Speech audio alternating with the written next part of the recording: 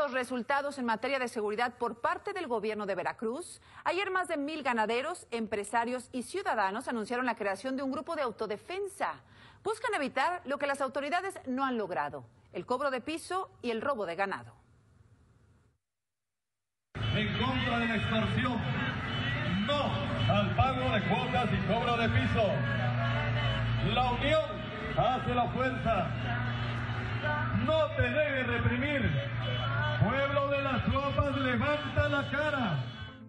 Hartos del robo de ganado, las extorsiones, los secuestros y el cobro de piso, este domingo ganaderos, ciudadanos y empresarios de siete municipios veracruzanos y cuatro localidades oaxaqueñas anunciaron la creación de un grupo de autodefensa.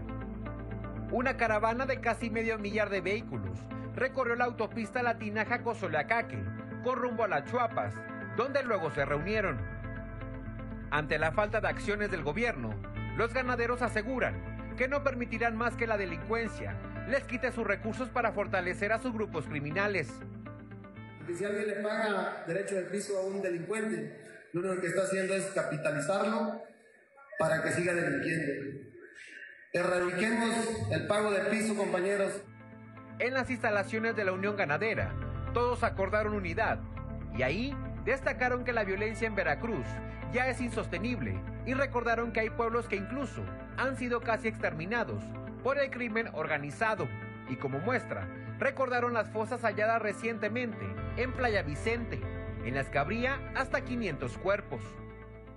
Yo pienso que todos estamos con la misma idea de querer dejarle a nuestros hijos, en primer lugar a sus hijos y nietos, una zona, una región tranquila. Y es que justo en Tezonoapa, Veracruz, en los límites con Oaxaca, esta semana circuló una fotografía donde cerca de 40 sicarios posan a la entrada del municipio. Pese a los patrullajes, los pobladores dicen sentir temor por la guerra que hay entre el cártel Jalisco Nueva Generación y los Zetas. Con información de Isabel Zamudio y Jael Irata, Milenio Noticias. Supongo que esta información no la puede eh, negar el gobernador Cuitlagua García, por eso hasta ahora ha guardado absoluto silencio.